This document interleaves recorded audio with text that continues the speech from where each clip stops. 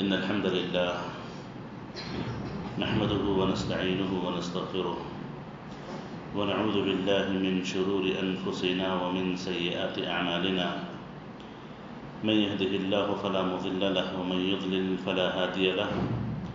وأشهد أن لا إله إلا الله وحده لا شريك له. وأشهد أن محمدا عبده ورسوله. صلى الله عليه وعلى آله وصحبه وسلم تسليما كثيرا. أما بعد.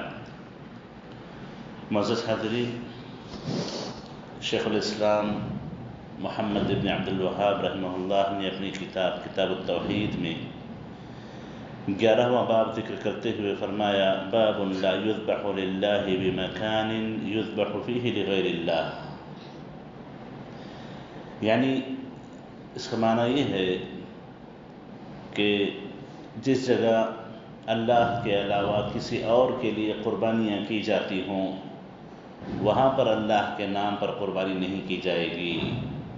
یعنی جس جگہ اللہ کے علاوہ کسی اور کی عبادتیں کی جاتی ہوں، وہاں پر اللہ کی عبادتیں نہیں کی جائیں گی۔ اس میں مؤلف رحمہ اللہ نے ایک آیت اور ایک حدیث پیش کی ہے اور تقریباً گیارہ مسائل کا تذکرہ کیا ہے پہلی آیت جو پیش کی سورہ توبہ کی آیت نمبر ایک سو آٹھ ہے جس میں اللہ تعالیٰ نے فرمایا اللہ تقم فیہ ابدا لمسجد اسس على التقوى من اول يوم احق ان تقوم فيه فيه رجال المطہرین یہ جو آیت نازل ہوئی، اس کا تھوڑا سا خلفیہ ہے۔ قبل اس کے کہ اس آیت کے تعلق سے میں کچھ کہوں۔ آپ یہ جان لیں کہ گزشتہ درس میں ہم نے جو پڑھا تھا، وہ یہ تھا کہ اللہ ہی کے لیے ذبح کیا جانا چاہیے۔ اللہ کے علاوہ کسی اور کے لیے ذبح کرنا یا اللہ تعالیٰ کے ساتھ شرک کرنے کے برابر ہے۔ قربانی صرف اور صرف اللہ تعالیٰ کے دی جائے گی۔ باب الماجا فی الذبح لغیر اللہ، غیر اللہ کے لیے ذبح کرنے پر جو وعید آئی ہوئی ہے، جو لعنتیں ہیں، اس کے تعلق سے ذکر گزر چکا۔ تو غیر اللہ کے لیے ذبح کرنا ہر حال میں جائز نہیں ہے، شرک اللہ تعالیٰ کے ساتھ۔ تو ایک اور چیز یہاں پر مزید ذکر کی کہ اللہ ہی کے لیے ذبح کرنا، لیکن کسی ایسی جگہ پر جہاں غیر اللہ کی عبادت ہوتی ہو۔ جہاں غیر اللہ کی قربانیاں پیش کی جاتی ہیں ان کے نام پر، تو اس جگہ بھی ذبح نہیں کیا جانا چاہیے، اس جگہ بھی ذبح کرنے سے نبی کریم علیہ صلاۃ والسلام نے منع کیا ہے۔ یعنی اس میں یہ بتائی گئی ہے کہ وہ وسائل، وہ راستے جو شرک تک پہنچانے والے راستے ہوں، ان سے بھی ایک انسان کو، ایک مسلمان کو رکنا اور پرہیز کرنا چاہیے۔ اور اس میں اس بات کی بھی دلیل ہے کہ آپ اہل شرک، اہل بدعت یا پھر گناہ گار لوگ، ان لوگوں کی مشابہت اختیار نہ کریں، ان لوگوں جیسے کام نہ کریں، ان لوگوں جیسی آپ کی حرکتیں نہیں ہونی چاہیے۔ سب سے پہلی جو آیت پیش کی ہے وہ سورہ توبہ کی آیت نمبر ایک سو آٹھ ہے۔ اس سے پہلے آیت نمبر ایک سو سات ہے۔ والذين اتخذوا مسجدا ضرارا وكفرا وتفريقا بين المؤمنين وارصادا لمن حب الله ورسوله من قبل ولا يحلفن ان اردنا الا الحسنى والله يشهد انهم لكاذبون۔ یعنی ہوا یہ مختصر سا واقعہ میں آپ کو بیان کر دوں۔ کہ اس مسجد زرار کا یعنی ایک مسجد نبی کریم علیہ السلاۃ والسلام کے زمانے میں بنائی گئی تھی اور جنگ تبوک کے لیے نبی کریم علیہ السلاۃ والسلام نکل کے جا رہے تھے، تو مسجد بنانے والوں نے آ کر کے اللہ کے نبی علیہ السلاۃ والسلام سے گزارش کی کہ آپ آ کر کے ایک مرتبہ ہماری اس مسجد میں نماز پڑھ لیں، ہماری اس مسجد میں آپ نماز پڑھ لیں۔ تاکہ وہ یہ چاہ رہے تھے کہ ایک مرتبہ اللہ کے نبی نماز پڑھ لیں تو مسجد کو مسجد کا مقام مل جائے گا، مسجد کا مرتبہ مل جائے گا، اللہ کے نبی پڑھ لیں گے تو ایک ثبوت مل جائے گا کہ یہ مسجد ہے، یہاں پر کوئی حملہ نہیں کرے گا، یہاں پر کوئی غلط نگاہ نہیں ڈالے گا۔ یہ ان کے مقاصد جیسے بھی میں آپ کو بتاؤں گا۔ تو نبی کریم علیہ السلام والسلام نے کہا کہ ٹھیک ہے، ابھی ہم تبوک تبوک کے لیے جا رہے ہیں، واپس آنے پر پڑھ لیں گے، واپس آنے پر پڑھ لیں گے۔ جب اللہ کے نبی واپس آ رہے تھے، ایک دن کا سفر باقی تھا، اس وقت اللہ تعالیٰ نے اللہ کے نبی کو وہی بھیج دی کہ یہ جو مسجد بنائی گئی ہے، اس مسجد کا مقصد اللہ کی عبادت نہیں ہے، اس مسجد کا مقصد مسلمانوں کے خلاف مکر و سازش کرنا ہے، مسلمانوں کے خلاف دشمنوں کو جمع کرنا ہے، مسلمانوں کے خلاف جنگ کی تیاری کرنا ہے، یہ ان لوگوں کا مقصد ہے۔ اور وہ کیسے ہوا؟ اس کے تعلق سے کہتے ہیں کہ ابو عامر الراہب ان کو اللہ کے نبی علیہ السلاۃ والسلام نے اسلام کی دعوت دی۔ ابو عامر راہب کو اللہ کے نبی نے اسلام کی دعوت دی، اس نے اسلام قبول کرنے سے انکار کر دیا۔ اہل مکہ کے پاس چلا گیا۔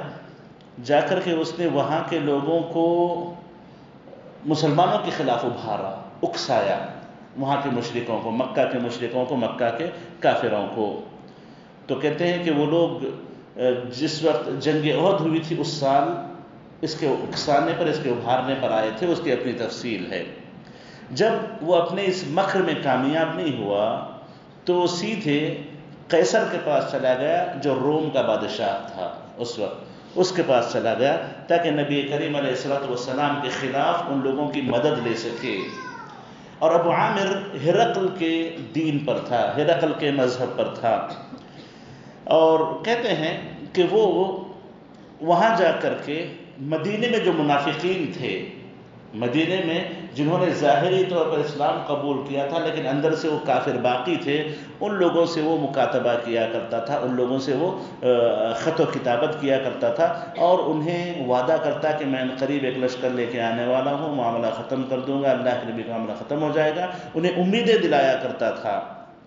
تو کہتے ہیں کہ ہمیشہ اس کے خط و کتابت ان تک پہنچا کرتی تھی۔ تو ان لوگوں نے کیا کیا تاکہ ہم لوگوں پہ شک نہ ہونے پائے کہ ہم کوئی کسی غلط قسم کی ایکٹیویٹی میں ہیں، ہم کسی غلط کام کی فکر میں لگے ہیں۔ ان لوگوں نے ظاہری طور پر ایک مسجد بنائی۔ ظاہری طور پر ان لوگوں نے ایک مسجد بنائی۔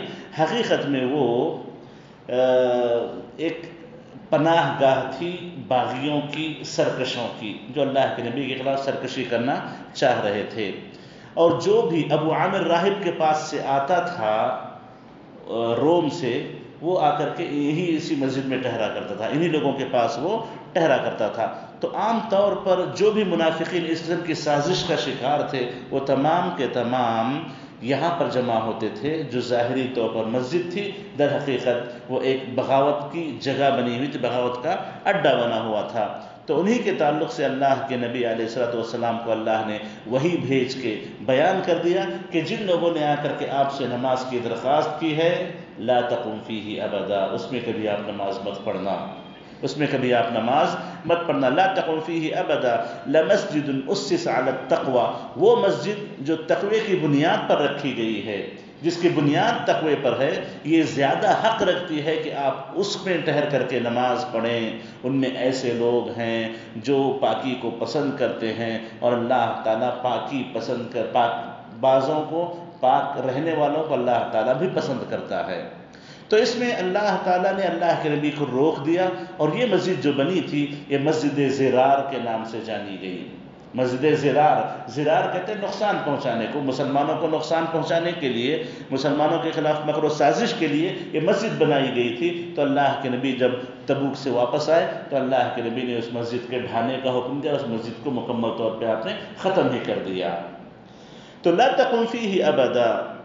یہ جو آیت یہاں پر مؤلف رحمہ اللہ نے پیش کی ہے، اس میں یہ بتایا جا رہا ہے کہ اے نبی، منافقوں نے جو مسجد مسلمانوں کو نقصان پہنچانے کے لیے مسجد قبا کو، مسجد قبا اللہ کے نبی کی بنائی گئی مسجد ہے، جو اپنے قبا میں بنائی تھی، اس مسجد کو نقصان پہنچانے کے لیے منافقوں نے ایک مسجد بنائی ہے، جو اللہ کا کفر، اللہ کے نبی کا انکار اس کا مقصد ہے ان لوگوں کا اور یہ لوگ جنہوں نے آپ سے مطالبہ کیا کہ جا کر کے آپ ایک مرتبہ اس میں نماز پڑھ لیں تاکہ وہ اس کے بعد حجت پکڑ سکیں، اپنے باطل کو چھپا سکیں کہ آپ نے یہاں پر ایک مرتبہ نماز پڑھ لی تو یہ بھی اللہ کا گھر ثابت ہو گیا۔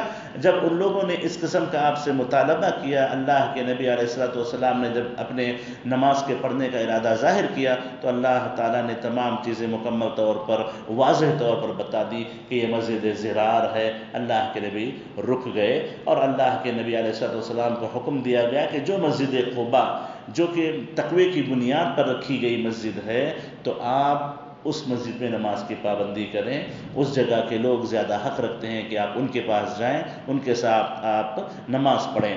تو گویا اس میں یہ چیز بتائی گئی ہے کہ دیکھیے، جہاں پر جو جگہیں فتنوں کی جگہیں ہوتی ہیں، جو جگہیں فساد کی جگہیں ہوتی ہیں، جو جگہیں شرک و کفر اور منافقت کا اڈا ہوتی ہیں، ایسی جگہوں پر اے اللہ کے نبی آپ کو نماز پڑھنے کی اجازت نہیں ہے۔ آپ کو ایسی جگہ نماز نہیں پڑھنی چاہیے۔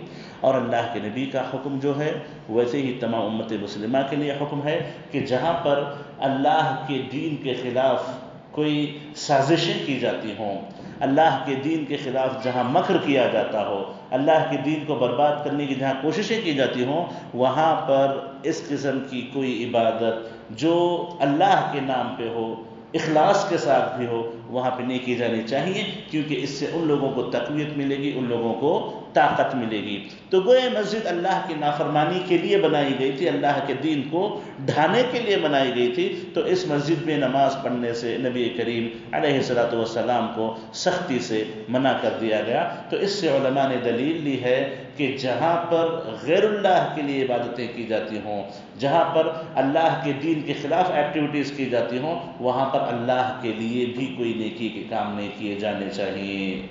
تاکہ کوئی شبہ نہ ہو کہ یہ بھی غیر اللہ کے لیے کیا جانے والا کام ہے، یا یہ شبہ نہ ہو کہ وہ لوگ جو حرکتیں کر رہے ہیں، وہ بھی اللہ کے لیے کیے جانے والے کام ہیں۔ حق حق واضح رہے باطل باطل کے طور پہ واضح رہے، مکمل طور پر وضاحت رہے، اس واسطے نبی کریم علیہ السلاۃ والسلام کو وہاں پر نماز پڑھنے سے بنا کر دیا گیا۔ اور مسجد قبا کی اس میں تعریف ہے۔ مسجد قبا کی اس میں تعریف ہے کہ دیکھیے، مسجد قبا جو کہ تقوی کی بنیاد پر رکھی گئی، اور یہ جو مسجد کا نام آیت میں نہیں ہے۔ آیت میں صرف مسجد کا ذکر ہے کہ تقوی کی بنیاد پر جس مسجد کی بنیاد رکھی گئی ہو اس کا کہا گیا تو بعض مفسرین کہتے ہیں اس سے مراد مسجد قبا ہے اور بعض کہتے ہیں اس سے مراد مسجد نبوی ہے، مسجد نبوی ہے۔ اب جو وصف بیان کیا گیا، جو اس کی صفت بیان کی گئی، تقوی کی بنیاد پر رکھی گئی مسجد۔ بلا شبہ مسجد خوبہ تقوی کی بنیاد پر رکھی گئی مسجد ہے۔ تو بدرج اولا مسجد نبوی بھی تقوی کی بنیاد پر رکھی گئی مسجد ہے، جو اللہ کے نبی کی مسجد ہے۔ جو اللہ کے نبی کی مسجد ہے، چاہے آپ اس سے یہ مراد لے لیں، چاہے آپ اس سے وہ مراد لیں، کوئی فرق نہیں پڑے گا۔ دونوں مسجدیں اللہ کے تقوی کی بنیاد پر رکھی گئی مسجدیں ہیں۔ فی ہی رجال يحبون ان يتطهروا اس میں ایسے لوگ ہیں جو پاکی کو پسند کرتے ہیں۔ وہاں کے لوگوں کی خاصیت یہ تھی۔ نبی کریم علیہ السلط والسلام نے جا کر کے ان سے پوچھا کہ اللہ نے تمہاری پاکی کی بڑی تعریف کی ہے۔ بتاؤ کیا مسئلہ ہے، کیا ماجرا ہے؟ تو ان لوگوں نے کہا کہ ہم نے اہل کتاب کو دیکھا کہ وہ لوگ اپنے شرمگاہوں کو پانی سے دھوتے تھے، تو ہم نے پانی سے دھونا شروع کیا۔ بجائے اس کے کہ ہم پتھر سے پوچھ کے پھینک دیں، ہم نے پانی سے دھونا شروع کیا۔ اور بعض روایت کے مطابق وہ لوگ پتھر اور پانی دونوں کو جمع کیا کرتے تھے یعنی اپنے شرمگاہ کو پتھر سے اچھے سے پوچھ لیتے پھر اس کے بعد پانی سے دھو لیتے تو ان کی پاکی اللہ کو بڑی پسند آئی۔ ان کی پاکی اللہ کو بڑی پسند آئی اور اللہ تعالیٰ نے ان کی پاکی کی تعریف کرتے ہوئے کہا کہ فی رجال یحبون ان یتطہروا اس میں ایسے لوگ ہیں جو پاکی کو بڑے پسند کرتے ہیں اور اللہ پاکی پسند کرنے والوں کو پسند کرتا ہے۔ پاکی پسند کرنے والوں کو اللہ پسند کرتا ہے، تو گئے اس میں اس بات کی دلیل ہے کہ ایک مسلمان کو گندا، میلا، کچیلا نہیں رہنا چاہیے۔ اس کے کپڑے صاف ہوں، اس کی حیت صاف ہو، اس کی جگہ صاف ہو، اس کا گھر صاف ہو، اس کا آنگن صاف ہو، اس کی زبان صاف ہو۔ اور جیسے اس کا ظاہر صاف ہو، اس کا باطن بھی صاف ہو، اس کی روح بھی صاف ہو، اس کا اندرونی سوچ بھی صاف ہونی چاہیے۔ اللہ ایسے پاک صاف لوگوں کو بڑا پسند کرتا ہے۔ اس کے بعد مؤلف رحمہ اللہ نے جو حدیث پیش کی، ثابت بن الضحاک رضی اللہ تعالیٰ عنہ کی حدیث ہے۔ کہتے ہیں، ثابت بن الضحاک رضی اللہ تعالیٰ عنہ، کہ ایک آدمی نے بوانا نامی جگہ پر، جو کہ مکہ ہی میں جگہ ہے، مکہ کے نچلے حصے میں پڑتی ہے، اس جگہ پر ایک آدمی نے قربانی کرنے کی نظر مان لی۔ کہ میں بوانا نامی جگہ پر جا کر کے اللہ کے لیے قربانی پیش کروں گا۔ یہ اس نے نظر مان لی۔ اللہ کے نبی سے آ کے پوچھا کہ میں نے نظر مانی ہے، اس نظر کو میں پورا کروں؟ تو نبی کریم علیہ السلام نے پہلے یہ دریافت کیا ہلکا نفی اوثان الجاہلیت یعبد کیا اس جگہ پر پہلے کوئی بدھ وغیرہ تھا کیا؟ کہ جہاں پر عبادت کی جاتی ہو، جہاں پر کوئی عرس میلہ لگتا ہو یا کسی قسم کے تہوار لگتے ہوں، ایسی کوئی بات تھی کیا پہلے؟ کوئی بت بت رہا ہو کہ لوگوں کو وہاں پر منتیں مانگ کر جا کر کے قربانی کرنے اڑنے کا ان کو کوئی طریقہ، ان کا رواج رہا ہو؟ تو لوگوں نے کہا، نہیں، ایسا ایسا تو کچھ نہیں ہے۔ بوانا میں پہلے باپ دادا کے زمانے میں کوئی بت بت رہا ہو، ایسی کوئی بات ثابت نہیں ہے۔ پھر اللہ کے میں ایک اور بات پوچھی فہل کا نفی ہے عید من آیا کیا وہاں پر ان کی کوئی عید وغیرہ ہوا کرتی تھی کیا؟ یہ بوانا خاص کیوں کیا گیا؟ بوانا میں ہے کیا؟ کیا کوئی عید تھی؟ کیا کوئی تہوار تھا؟ کیا کوئی ان کا اوکیشن ہوا کرتا تھا وہاں پہ؟ کیا کوئی وہ دینی چیز منایا کرتے تھے وہاں پہ؟ تو لوگوں نے کہا کہ نہیں، اللہ کے نبی، ایسا بھی مسئلہ نہیں ہے۔ نہ کوئی بت تھا اور نہ کوئی تہوار وغیرہ تھا۔ جب ہی اللہ کے نبی نے سنا تو اللہ کے نبی نے کہا او فی نظری جاؤ جا کے نظر پوری کر دو۔ جا کے وہاں پہ قربانی کر دو۔ فَإِنَّهُ لَا وَفَاءَ لِنَذْرٍ فِي مَعْصِيَةِ اللَّهِ وَلَا فِي مَا لَا يَمْلِكُ ابْنُ آدم۔ کہنے لگے کہ دیکھو، اللہ کی نافرمانی والی نظریں کبھی پوری نہیں کی جاتی۔ اگر وہاں پر بت رہا ہوتا، نظر پوری نہیں کی جاتی۔ اگر وہاں کوئی جاہلیت لوگوں کی عید ہوتی، نظر پوری نہیں کی جاتی۔ اللہ کی نافرمانی کی نظریں کبھی پوری نہیں کی جاتی، اگرچہ بندے نے ہزار نظریں مان لی ہوں، ہزار منتیں مان لی ہوں۔ اللہ کی نافرمانی کی نظر ہے تو کبھی پوری نہیں کی جا سکتی۔ جیسے کوئی نوز باللہ نظر مان لے کہ اگر میرا کام پورا ہو جائے تو میں دس لوگوں کو جا کر کے پکچر دکھاؤں گا، مثال کے طور پر سنیما دکھاؤں گا۔ یا پھر کچھ اس قسم کی نظر جس میں اللہ کی نافرمانی ہو تو ایسی نظریں کبھی پوری نہیں کی جا سکتی۔ اور دوسری بات اللہ کے بھی نے کہی، ولا فیما لا يملك ابن آدم اور آدمی کی اپنی طاقت میں جو چیزیں نہ ہو وہ نظریں بھی نہیں قبول کی جاتی، وہ نظریں بھی نہیں پوری کی جاتی۔ جیسے کوئی غریب آدمی، فقیر آدمی، محتاج آدمی، اس نے کہا کہ اگر میرا کام پورا ہو جائے تو میں سو کروڑ اللہ کے نام پہ خرچ کروں گا۔ کہاں ہے اس کے پاس؟ کہاں ہے اس کی طاقت؟ جس کی اس کی طاقت نہیں ہے۔ یا پھر یہ نظر مان لے کہ اگر میری نظر پوری ہو جائے تو میں فلاں کا سامان اٹھا کے اللہ کے راستے میں خرچ کر دوں گا۔ جو آپ کا سامان نہیں، آپ کیسے اسے اللہ کے راستے میں خرچ کریں گے؟ تو اس میں اللہ کے نبی نے بات واضح کر دی کہ جس کا انسان مالک نہ ہو، وہ نظر کبھی پورا نہ کرے۔ اگر مان بھی لے تو اسے پورا کرنے کا اختیار نہیں ہے۔ یہ ابو داود رحمہ اللہ کی بیان کردہ روایت ہے، جس کی اصل بخاری مسلم میں بھی پائی جاتی ہے۔ تو اس حدیث کو پیش کر کے، اس حدیث کو پیش کر کے مؤلف رحمہ اللہ نے یہ بیان کرنا چاہا ہے کہ دیکھو، اللہ کے لیے بھی کیا جانے والا کوئی کام کیوں نہ ہو ایسی جگہوں میں نہ کرو جس جگہ پر غیر اللہ کے لیے کوئی عید منائی جاتی ہو، کوئی تہوار منایا جاتا ہو غیر اللہ کی عبادتیں کی جاتی ہوں، ان تمام جگہوں سے آپ کو پرہیز کرنا چاہیے۔ ایسا کوئی کام آپ نہ کریں، ایسی کوئی حرکت، کوئی عبادت آپ نہ کریں جس عبادت میں کسی باطل کو، کسی شرک کو یا کسی گناہ کو تقویت پہنچتی ہو۔ طاقت پہنچتی ہو، اس کو کوئی تائید ملتی ہو، ایسا کوئی کام نہیں کرنا چاہیے، ایسا کوئی کام نہیں کرنا چاہیے۔ اسی لیے اللہ کے نبی علیہ السلام سے جب ان صحابی نے پوچھا کہ بوانا نامی جگہ پر میں قربانی کرنا چاہتا ہوں، آپ نے پہلے دریافت کر لیا کہ وہاں پہ کوئی بت بت تھا، کیا وہاں کوئی تہوار تھا؟ تو اس سے پتہ چلا کہ آپ کوئی کام کرنے سے پہلے تحقیق کر لیں۔ بس لوگوں کی دیکھا دیکھی آپ چلے جائیں، کرنے لگے یہ طریقہ نہیں ہے۔ یہ اگر کوئی آپ میں سے مکہ، مدینہ جائے تو آپ کو پتہ چلے گا کہ لوگوں میں اتنی جہالت ہے کہ اس مسجد کو گئے جا کر کے وہاں دو رکعت پڑھ لی، اس کونے میں گئے جا کے وہاں دو رکعت پڑھ لی، جا کر کے اس کو چھو کر کے چومنے لگے، اس سے برکت لینے لگے، یہاں جانے لگے، وہاں جانے لگے۔ یہ سب طریقے نہیں ہیں۔ اللہ کے نبی علیہ السلاۃ والسلام سے جو چیزیں ثابت ہیں وہ کی جانی چاہیے اور جو چیزیں ثابت نہ ہوں، ان سے انسان پرہیز کرے۔ جب غار ثور کو چلے گئے، غار ہرا کو چلے گئے، جا کر کے وہاں نماز پڑھنے لگے۔ بزرگ حضرات ہیں اور چڑھنے بڑی تکلیف ہو رہی بڑی مشکل سے چڑھ رہے ہیں۔ کوئی نیکی کا کام نہیں ہے غار ثور کو جانا۔ کوئی نیکی کا کام نہیں ہے غار ہرا کو جا کے آنا۔ اسی طریقے سے عرفہ میں رہتے ہوئے عرفہ میں رہتے ہوئے، وہاں پر پہاڑ ہے، جبل عرفات جسے کہتے ہیں، اس کے سب سے اوپری حصے پر پہنچتے ہیں۔ وہاں تک پہنچ کر کے بڑی سخت دھوپ ہے، چٹانیں ہیں، پتھر ہیں، گرم ہو جاتے ہیں۔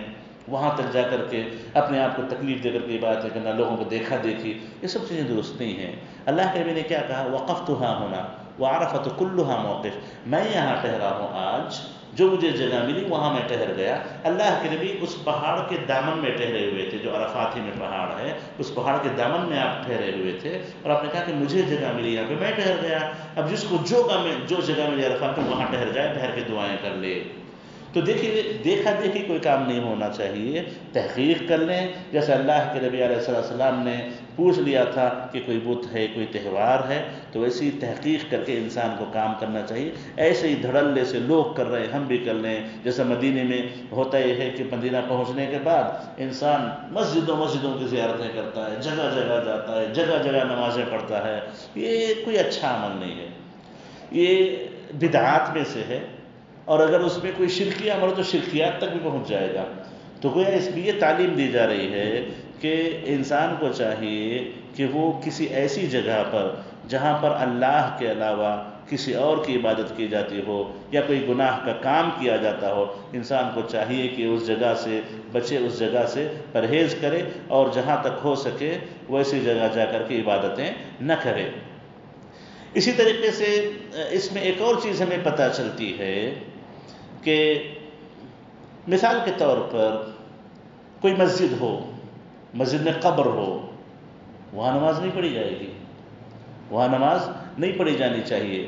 کیونکہ اللہ کے نبی علیہ السلط والسلام نے قبروں کے درمیان قبروں کو قبلہ بنا کے قبر والی جگہ پر نماز پڑھنے سے منع کیا ہے۔ اس مسجد کو یا تو قبر سے الگ کر دیں یا قبر کو مسجد سے الگ کر دیں۔ تو ہوگا یہ کہ آپ کی نماز محفوظ رہے گی۔ آپ کی نماز محفوظ رہے گی۔